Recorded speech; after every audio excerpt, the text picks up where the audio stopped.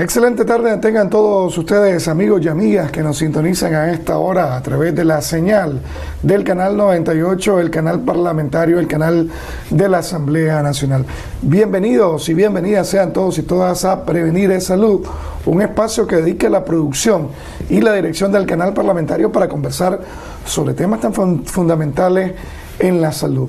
El día de hoy contamos con la presencia del doctor César López, inmunólogo pediatra del Centro de Salud San Francisco Huitrago, ubicado en el distrito número 4 de Managua. Con él vamos a estar conversando sobre las infecciones urinarias en nuestros niños, cómo evitarlas y cómo tratarlas.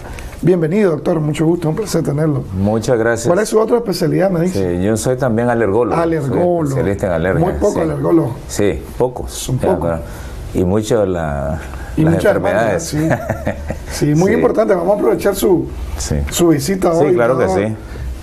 el vasto conocimiento que usted tiene en diferentes especialidades. Para eso estamos aquí, pero vamos a tratar de hacer esto bastante sencillo, pues porque para la población es muy importante. La infección de vía urinaria ahora, a mí por lo menos personalmente me causa una impresión eh, grande en mi corazón porque es difícil ver cómo un niño que tiene un desarrollo psicomotor, adecuado, bonito, hermoso, como decimos nosotros, pues de repente comienza a tener infección de vías urinarias que progresan, se maltratan o están eh, cultivándose en la casa sin tomar las medidas apropiadas y eso puede llegar al riñón.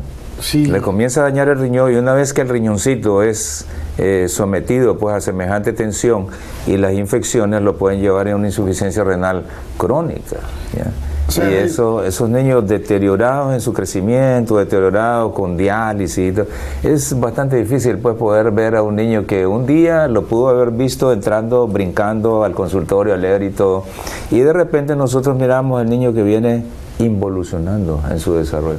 Es difícil, pues, pero es importante por eso conocer todas estas medidas que la población son fáciles de hacerlas y que la población las puede conocer perfectamente.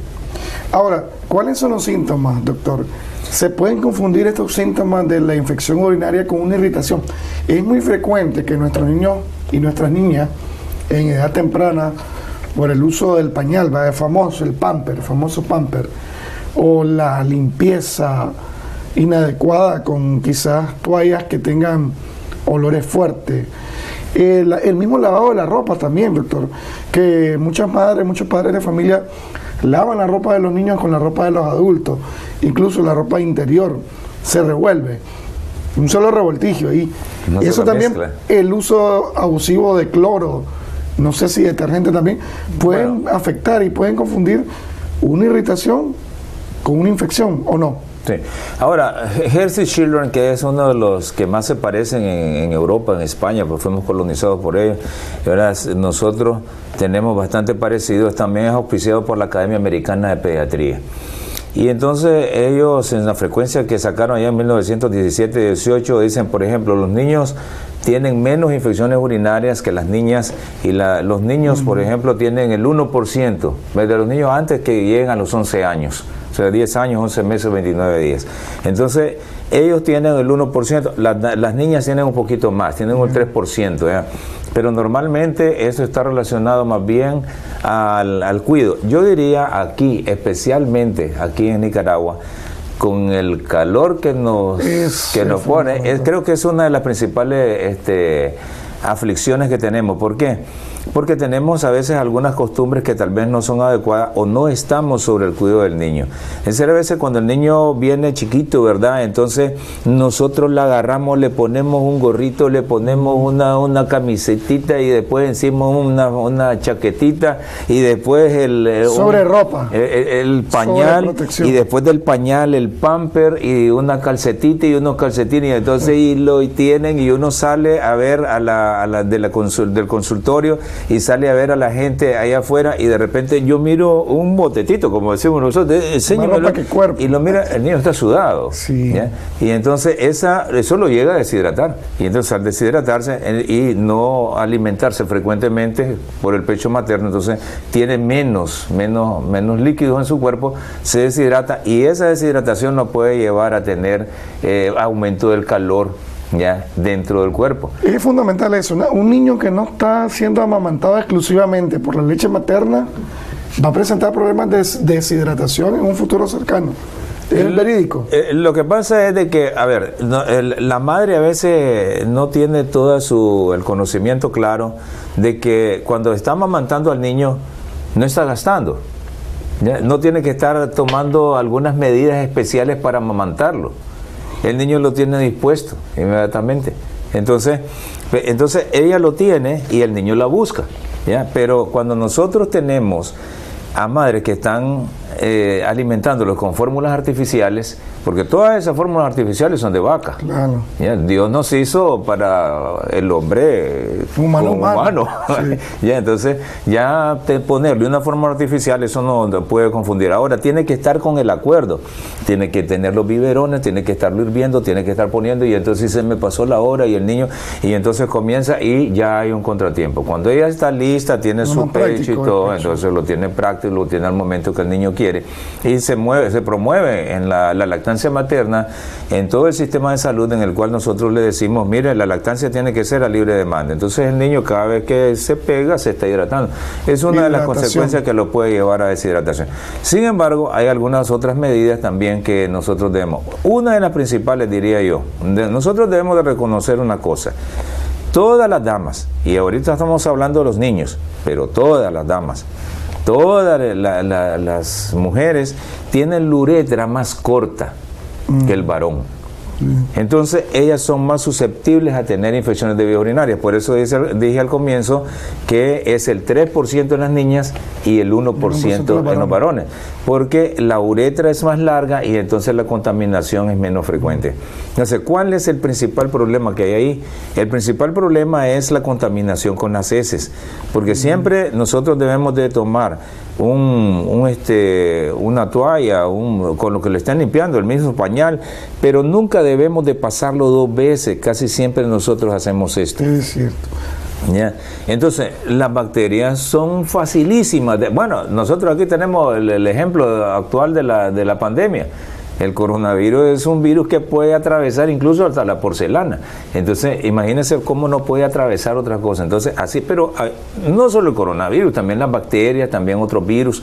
Y entonces, ellas pueden atravesar y estar en la superficie del pañal, aunque yo lo mire limpio. Entonces, cuando yo hago esto y le paso dos o tres veces, entonces ellos tienen ese problema. Ahora, con la relación a la pregunta, usted me dice, ¿esto se puede confundir? Claro, la primera confusión es con la hidratación. Entonces yo tengo que examinar al niño y verlo, verlo si está hidratado.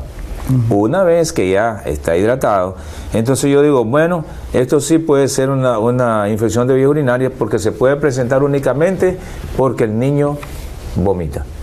Ah. Cuando nosotros tenemos un niño chiquitito, entonces él a veces ni llora porque tal vez nace de bajo peso, porque tal vez está muy pequeño. Y entonces, pero uno lo ve y él no quiere alimentarse. O sea, la mamá, uno le pregunta, a veces hay técnicas también que el médico, creo yo que eso lo debemos de desarrollar. El médico debe aprender los dos lenguajes, el altamente científico y debe de, aprender el lenguaje con que la población no se entiende. Entonces uno le pregunta, mire, ¿y usted le siente la boquita más caliente en el pezón de lo normal? Entonces, la madre puede percibir eso. O decirle, mire, el niño está comiendo menos de lo normal. O mira usted que está haciendo como náuseas, quiere, quiere, quiere vomitar, ¿verdad? Entonces, eso puede ser una infección de vía urinaria en un niño menor de dos meses. Entonces, claro, ya después, ya más grandecito, entonces viene variando. Pero puede ser incluso antes de los seis meses la pura fiebre. Ah, fiebre. Nada más fiebre. Y entonces, y uno le busca, claro, el médico es obligado prácticamente a investigarle otro foco infeccioso. Cuando yo no le encuentro otro foco infeccioso y ha aparecido fiebre, debo tener en cuenta siempre la infección de vías urinarias. Porque aquí en el Ministerio de Salud, sus investigaciones y su, y su comportamiento epidemiológico, nosotros tenemos, y casi todo el mundo sabe, pues que las principales causas de muerte y mortalidad son la diarrea y la vía respiratoria, ¿verdad? Pero no tenemos que olvidarnos de otra cosa también, porque decir que un niño menor de 11 años se enferma, el 3% estamos hablando de 3 de cada 100. Sí. O sea, cada 100 pacientes, yo miro 20 eh, pacientes diarios, en, cinco, en una semana, en, una semana, ¿verdad? Ya puedo ver 100. ¿ya? Entonces, tres de esos pudieron haber llegado con infección de vías urinarias. ¿eh? Entonces, no lo debo de perder al tiempo. Y tengo de tener el cuidado de explicarle a la madre, pues, acerca de esas medidas. Algo muy importante que usted dijo, los síntomas iniciales, por ejemplo, un niño recién nacido, un niño menor de dos años. Hay diferentes síntomas ya en un niño, por ejemplo, preescolar, de cinco a más años, eh, hablando de los síntomas de la infección urinaria, doctor. ¿Cuáles son? Claro, ¿Cómo se diferencian? Pues, solo quiero hacerle una salvedad de que también la infección de vías urinarias puede ser asintomática. Ah. ¿ya? Igual ahora estamos acostumbrados a decir asintomático. ¿Vos te dio asintomático el coronavirus? No, no sentido síntomas. Porque las enfermedades así son. A veces nosotros eh, eh, queremos ver las cosas como extrañas, ¿verdad? Porque estamos puntualizando una cosa o queremos darle énfasis a otra. Le quiero dar énfasis a una cosa y entonces quiero que se perciba otra. Pero todas las enfermedades pueden tener un comportamiento asintomático y también las infecciones de vías urinarias. Entonces yo tengo que ver, por eso los niños tienen que pesarse, tienen que medirse siempre. Siempre tiene que estar alguien ahí haciéndolo. ¿Por qué? Porque a veces el simple hecho de que el niño no medra, que el niño no va creciendo adecuadamente, bueno, ¿y aquí qué pasa? ¿Qué fue lo que pasó? Y el niño está sano, come bien, aquí bebe bien, eh, se mueve bien, está bien, pero no crece. No, aquí hay que investigarle esta cosa. Y una de las cosas que debemos de investigar es la infección de vías urinarias.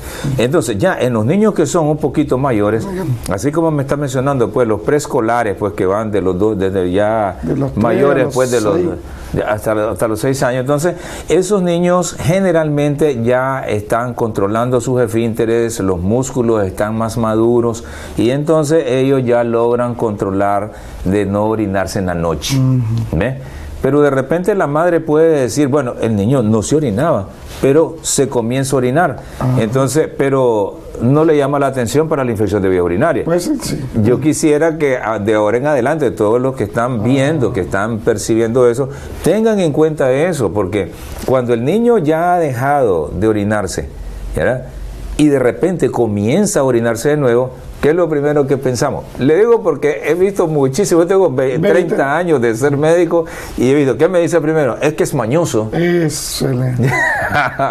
es mañoso, es que, es que él ahora es que le está agarrando eso. Es que, mm. No, entonces, no, sí, pues puede ser que sea mañoso, pues, pero digamos sea lo último que vamos a, ah. a estar considerando. Yo tengo que considerar una causa por la cual el niño está cambiando su comportamiento. Y una vez que ya examinó eso y miro que ya todo va y todo le salió normal, bueno, entonces hay que acostumbrarlo. Porque el problema es que el ser humano tiene un desarrollo de cada uno de sus órganos de acuerdo a un proceso. Mm. Yo no puedo decirle a un niño, eh, ¿y por qué estás haciendo? O sea, una, es una forma eh, aterrizadora de aterrorizar al niño para educarlo.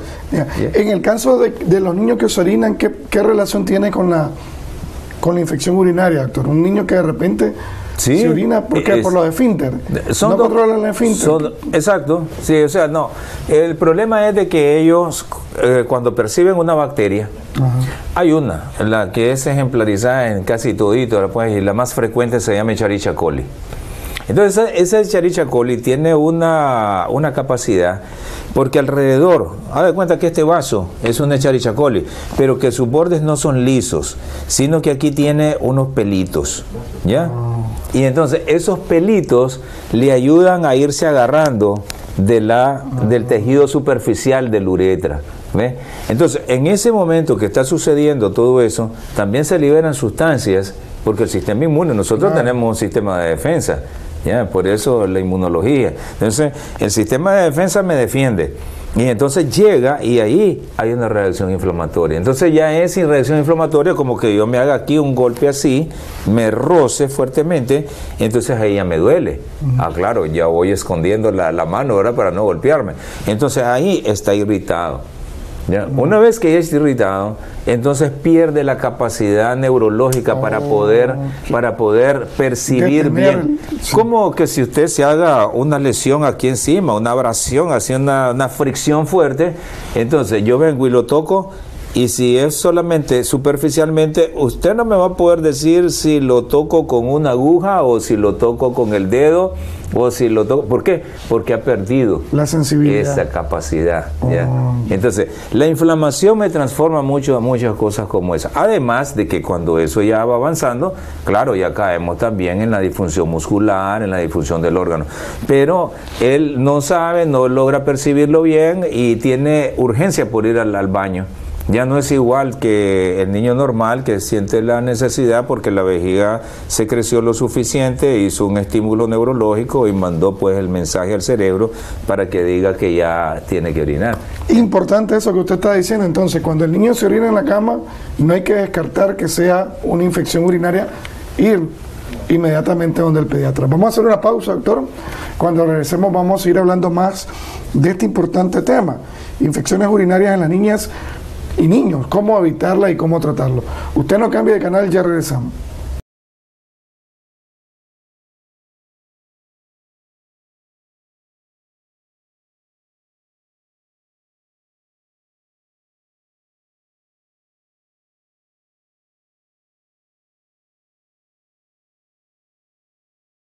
Estamos de regreso, amigos y amigas televidentes, en su gustado programa Prevenir y Salud a través de la señal del canal 98. Gracias a los amigos que nos sintonizan a través de Facebook y en YouTube. En Facebook aparecemos como Canal Parlamentario de Nicaragua y en YouTube como Canal Parlamentario NIC. Hoy contamos con la presencia del doctor César López, pediatra del Centro de Salud Francisco Huitrago, ubicado en el distrito número 4 de Managua. Con él estamos conversando sobre las infecciones urinaria en nuestros niños, cómo evitarla y cómo tratarla. Doctor, muy importante la clasificación. Hay, vía, hay infección urinaria en vía baja y vía alta. Explíquenos brevemente en qué consiste. Sí, bueno, nosotros tenemos la vía urinaria principalmente la uretra, la vejiga y los ureteres. Se parece la palabra, pues, pero... Uretra y ureter es diferente. Es diferente. Ahora, ¿cuál es el problema? Por ejemplo, si yo tengo una infección que es solamente en la uretra, ¿Y cuál es el problema si pasa la uretra? Entonces, como le explicaba la vez anteriormente, esas bacterias tienen esa, esos pili, esos pelitos por los cuales ellos se van agarrando del epitelio de la vía urinaria y van ascendiendo. Van ascendiendo al riñón. Entonces, si yo lo tengo solamente en la uretra, entonces esto es más fácil de eliminar. Pero cuando ellos ya pasan del uretra, pasan a la vejiga y pasan al, uréter, entonces ahí sí ya se me vuelve complicado porque fácilmente pueden llegar hasta el riñón. ¿ya? Y entonces ya cuando llega al riñón, ahí tenemos unas cosas en el riñón que nosotros le llamamos en medicina pelvis. ¿ya? Entonces por eso eh, cuando se infecta y se produce una inflamación se llama pielitis. Pero si ya nosotros estamos considerando que puede estar pasando al propio riñón, entonces ya le decimos nefritis. Entonces puede ser una ah. pielonefritis y una pielonefritis hay que tratarla normalmente con vía parenteral, con inyecciones. ¿Por qué? Porque fácilmente me puede dañar el riñón y ah. eso la puede llevar a consecuencias de sepsis también al niño. esa infección no solo está en la vía urinaria, sino pasarse a las otras cosas. Ahora, cuando nosotros tenemos una infección de la vía urinaria baja en la uretra, entonces fácilmente nosotros podemos aumentar el flujo, porque el problema es que muchos de nosotros incluyendo los adultos, ya bebemos poca agua. Y hay personas, yo me encuentro con personas que me dicen, no me gusta el agua, me da asco el agua. Entonces, eso no es correcto. Pues nosotros tenemos que ingerir bastante agua y el propio flujo, el contraflujo, porque la bacteria viene subiendo, ¿verdad? Ella viene subiendo, pero el flujo importante que viene de la, del riñón se pasa llevando una buena cantidad de, esas de esas bacterias y las elimina. Ahora, cuando yo ya las tengo en la, en la, en la vía alta, ese problema ya se me complica más porque el flujo ya no es igual. Ya, se, ya se pueden esconder incluso en algunos pliegues que hay ahí y ya no los puedo sacar. Entonces, pero en el niño, por ejemplo, en el niño que, que, tiene menos de 11 años, esos niños pueden tener algunos otros síntomas que nos pueden llamar la atención.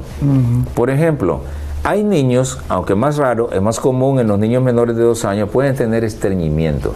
Ah.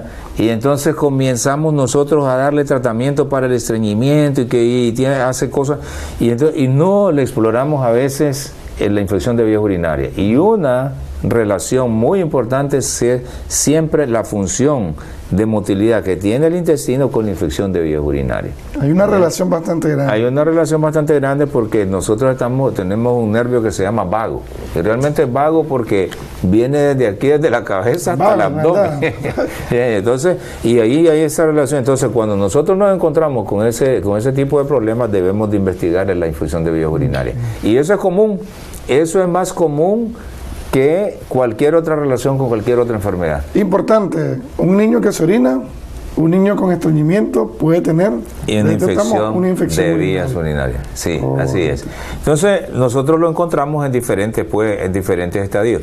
Entonces, cuando el niño tiene ya más de, cuatro años, entonces el niño, es más fácil porque ya dice, eh, me duele aquí o me duele aquí y ya incluso hay niños que nosotros le llamamos un signo de paternaski, se llama, o de puño percusión. Le ponemos la mano así, le golpeamos, y entonces el niño ya puede decir que el dolor se le va hacia adelante y luego hacia abajo, siguiendo la ruta del uretra del uretra y de la vía urinaria. Entonces eso ya me puede estar dando también una luz, ¿verdad? Mm. Pero muchas veces puede ser que estos niños menores de dos años, menores de tres años, ellos solamente tengan fiebre la pura fiebre y nada más, a veces vómito. Y eso es lo que me, lleva a pensar en Importante además del agua, doctor, para, para, que estas bacterias se bajen, es los cítricos. Yo le decía los cítricos, la limonada. un niño o una niña con infección urinaria o que esté presentando repeticiones, infección urinaria, porque también las repeticiones son a causa de la mal, que se trató mal y no necesariamente fue el médico sino el padre de familia que no le dio el medicamento como es, pues. Y eso comúnmente ocurre, que ya cuando el niño muestra mejoría le suspendemos el medicamento a los tres días o dos días. Quiero, quiero comenzar explicándole con lo último que dijo, porque las dos cosas son importantes. Número uno es de que cuando el niño tiene, ¿verdad?, la infección de vías urinarias y entonces, y el padre no, o los padres no completan el tratamiento, es porque a veces miran ellos que se mejoraron. Pero que se mejoraron no significa que ya se curaron, que quedó estéril pues la, la vía urinaria. Y entonces ellos se lo quitan. Pero creo yo, esa es una forma mía de que creo que no hay ahí en los libros, quizás más bien basado en los principios cristianos, porque yo tengo que dedicarle en el poco tiempo que tengo de la relación con un médico paciente, porque a veces es muy rápido la cosa, muy, muy entonces aún así debo de buscar cómo darle confianza. Eh, o sea, normalmente a veces nosotros podemos caer en la tentación de decir, esta señora no me entiende, o esta señora este, ya le expliqué, pero no, pero no, no, no, sé qué pasa. Entonces, pero nosotros debemos de decirle claramente, mire señor, usted tiene que cumplir este tratamiento porque si usted no lo cumple, entonces el peligro que hay para que esto recaiga y que el riñoncito del niño se le, se le agrave, entonces va a ser peor. Por tanto, yo estoy diciéndole que esto lo debe de cumplir. El tratamiento normalmente es entre 7 y 14 días. Entonces, allí nosotros debemos de influir.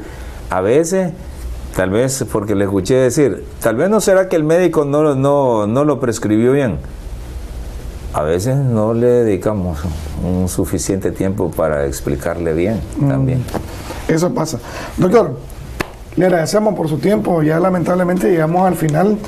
Eh, le vamos a invitar en otra ocasión para hablar de su otra especialidad, que es ah, importante, los virus. Sí, cómo no. Eh, cómo, cómo, cómo, las alergias, perdón, que usted es alergólogo, cómo poder tratar con las diferentes alergias que se presentan en el ser humano. Le agradecemos, sí, doctor. Con mucho gusto. Y al señor también gracias la oportunidad para explicarle a la gente. Esta cosa lo tiene que saber la gente. Gracias también a usted, amigos televidentes, por su excelente sintonía. Recuerde, usted nos encuentra de lunes a viernes a partir de las 3 de la tarde por el canal 98, el canal de la Asamblea Nacional.